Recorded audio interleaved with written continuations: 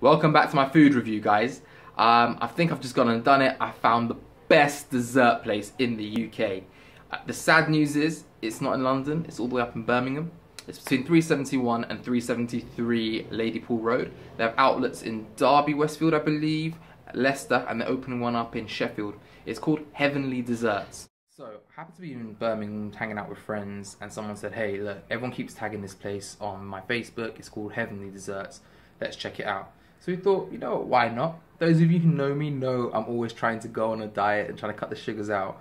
But that just never seems to be consistent, unfortunately, and the temptation was too strong again.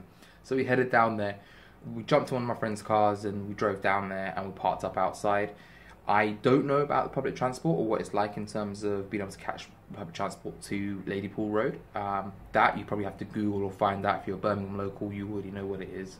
If you're a visitor, take a car down there. It's much easier, and they've got parking outside and around the corner as well. Now, rather than just taking my word for it, how good these desserts were, I've got a clip, and I know you guys want to see it and see exactly how good this dessert was. So, over to the clip. This has been so difficult to find an angle that's really to do this not even monstrosity, but this wonderfully constructed dessert justice.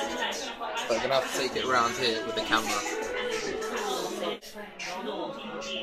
Absolutely delicious. Look at that. Three waffles stood up. Oh, gosh, my fingers there. The cream. The ice cream. Strawberries. So, the customer service. To me, the customer service was perfect. We had a very friendly waitress who was super helpful. She made the perfect recommendation for me, which was the I'm having what she's having. And I'd asked if she'd leave me with a menu in case I wanted to order a milkshake or anything along those lines just to try after I'd had my main dessert. And another waitress hadn't seen that I'd already placed my order, so she approached me and said, Excuse me, sir, I'm so sorry. Have you not had the opportunity to order yet? And I thought, No, I have. Thank you very much. She went, Oh, I'm so sorry. It's because you've got the menu. I thought that was really good customer service. She was proactive, anxious on top of things, and she also explained why she had approached me again.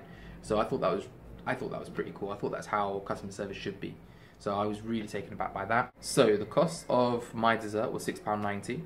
I know it might seem a bit on the expensive side. However, in terms of the amount of, uh, of dessert I got and the quality of dessert, it was certainly value for money. So the store, it was a good layout. It seemed like a mature version of Creams. It had three areas or three main sections. The main area when you come into the store, which I believe was kind of purpley, kind of similar to Creams. In the middle, they had the gold lounge where I was sat, and you can see that there's you know gold background there. Hopefully, it picks it up in the video.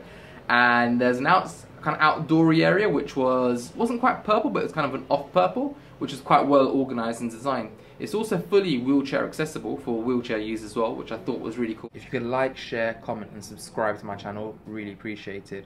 I'm going to put up my Instagram account in the description box, my Twitter on the description box, as well as the Facebook group. The Facebook group is essentially a foodie network where we can kind of share our passion for food, share stories, pictures, our Instagrams, I know, uh, uh, our vlogs, our blogs, anything that's about anything that's food related, recommendations of places we should I should check out, or other people should check out, places that you think is really that are really cool.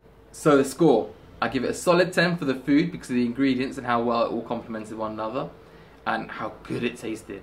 A 10 for customer service, I thought that was absolutely on point and I have to say I give them a solid 8 out of 10 when it came to cleanliness only because the seats that we were sat in were slightly worn.